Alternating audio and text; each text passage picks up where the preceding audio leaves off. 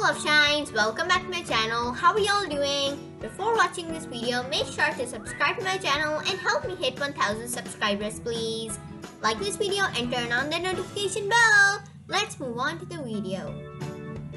Okay love shines. Now i want you all to let me know if i should do this trade or not. For my rifle frost dragon i'm getting a neon dalmatian and a rifle evil uni dalmatian itself has a lot of value and it's neon and quite rare Evil Uni has a good value as well and you have to add a little but here the add is more than required. So what do you think of this trade Love Shine? Should I do this trade? Frost are rising in value insanely so I'm not sure. Let me know in the comment section if it is a win, fair or lose. I'll be waiting. Bye!